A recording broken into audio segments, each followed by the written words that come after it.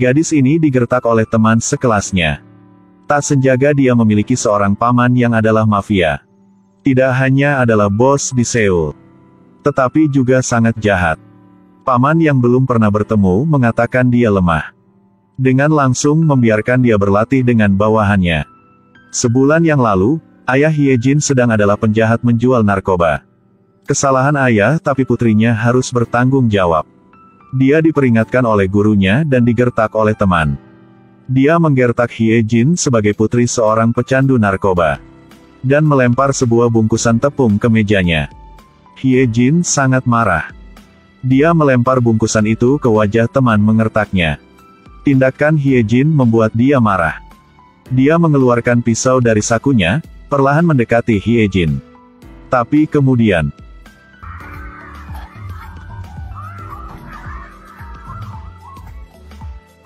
Seorang gadis gangster hanya bisa bertarung seperti itu.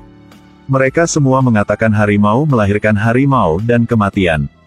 Gadis itu sangat nakal. Sang ayah juga pantang menyerah. Polisi sepanjang hari memblokir di depan rumah Hyejin. Dibersihkan oleh ayah. Ternyata hari ini adalah ulang tahun ke-18 Hyejin. Jadi ayah memberanikan diri kembali ke rumah. Ketika dia membuka pintu, ada orang bertopeng di belakang. Sang ayah menyadari sesuatu tak biasa. Pegang kunci pintu. Hyejin mendengar suara itu datang. Tapi gak bisa dibuka. Dia melihat melalui mata kucing dan menyaksikan adegan menakutkan itu. Bahkan seorang ayah harus melindungi putrinya sampai mati.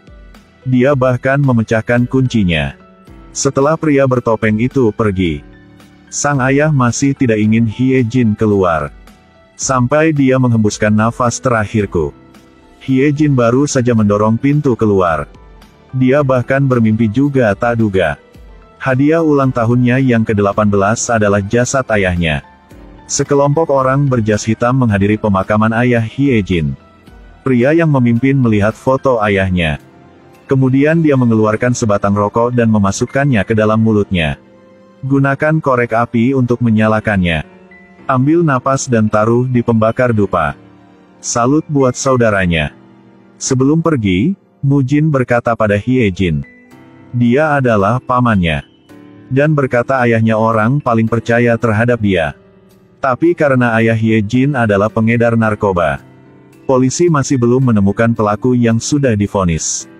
Sial, adalah nyawa seorang. Entah dari mana, Hyejin memeluk abu ayahnya untuk bertanya pada Mujin. Dia memintanya untuk menemukan pria yang membunuh ayahnya. Mujin bertanya padanya apa yang akan dia lakukan begitu dia menemukannya. Hyejin bilang dia sendiri yang menikam si pembunuh. Mujin hanya tersenyum. Lalu bangkit dan berdiri di depan Hyejin. Menarik pisau ke tangannya. Menyuruh dia anggaplah seperti pembunuh dan tusuklah. Dan Hyejin sangat ketakutan sekarang.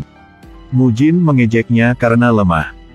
Takut seperti itu masih ingin menikam si pembunuh.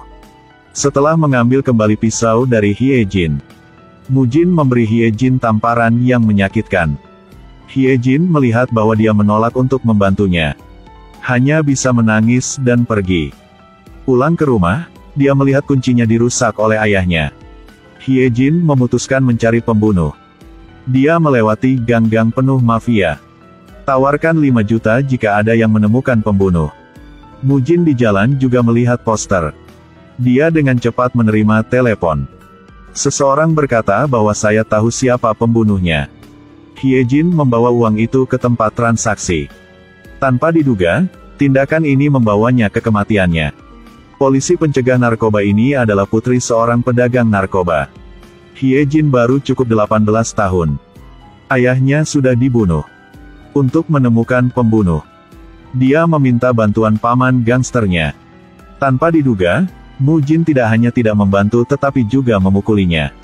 Hyejin hanya bisa pergi. Dia melewati gang-gang yang penuh dengan penjahat.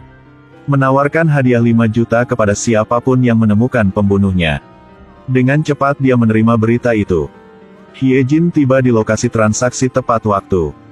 Di depan adalah tiga penjahat. Mereka entah apa pun tentang pembunuh. Mereka hanya ingin menipu uang Hye Jin aja.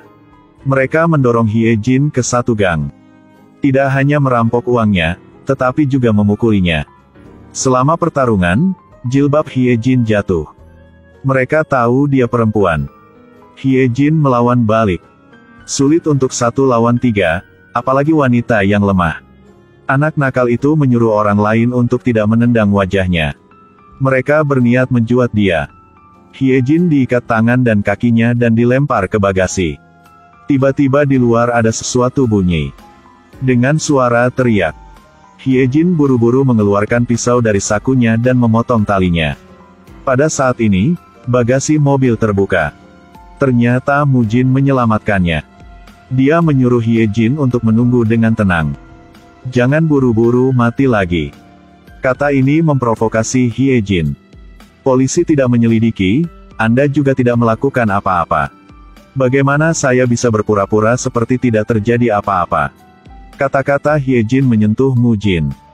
Jika Anda ingin menusuk si pembunuh, Anda harus lebih kuat.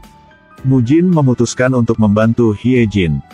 Jadi Hye Jin mengikutinya ke kamp pelatihan gangster. Tempat ini penuh dengan pria kulit hitam tinggi, jelek dan jauh. Mujin meninggalkannya di sini dan berbalik untuk pergi. Para junior berpikir bahwa kakak laki-laki itu membawa makanan penutup. Beritahu mereka saat mereka bosan bermain. Pada saat ini, seorang pria datang untuk mengatur akomodasi untuk Hyejin. Juga katakan padanya, siapa pun yang kuat di sini berhak. Siapa pun yang jahat adalah bosnya. Jika Anda ingin keluar dari sini, Anda harus mengalahkan para pria. Tapi Hyejin yang lembut tidak terlatih. Anda harus melakukan pekerjaan kebersihan. Tapi dia tidak menyimpan dendam. Jadikan dirimu lebih kuat. Setiap hari dia menanggung provokasi dan hinaan laki-laki. Hyejin tiba di depan karung pasir. Dia ingin berlatih. Tanpa diduga, orang lain menggantikannya. Di ujung jalan, dia pergi ke tempat lain. Hyejin mengepalkan tinjunya dan berdiri di depan karung pasir. Baru dipukul beberapa kali. Membuat pria di sebelahku gatal. Dia menginjak karung pasir, Hyejin didorong ke bawah. Anjing di belakang mengambil kesempatan untuk menganiaya dan menghinanya. Menghadapi anjing yang menggonggong, Hyejin tidak menyerah. Angkat tanganmu dan pukul di wajah. Masalah besar kali ini. Anjing yang dia gigit punggungnya. Dia memukul Hyejin ke tanah. Yang lain bergegas untuk menghentikannya. Sebagai seorang wanita, Hyejin hanya bisa berlatih saat yang lain tidur. Dia ingin menjadi lebih kuat. Adegan ini tepat pada waktunya untuk dilihat oleh Mujin. Dia menasihati Hyejin. Menghadapi lawan yang seratus kali lebih kuat dariku. Jangan berpikir bagaimana cara mengalahkannya. Tapi pikirkan bagaimana cara membunuhnya. Tekad seperti itu membuat lawan takut. Kamu tidak bisa mengalahkan mereka hanya dengan bertarung. Hanya saat menyerang titik lemah. Hanya membuat lawan kehilangan kemampuan untuk melawan. Hye Jin paham. Mujin memutuskan untuk melatihnya sendiri. Pertandingan seleksi setahun sekali dimulai. Hye Jin juga berpartisipasi. Dia akan berjuang sampai akhir dengan para pria.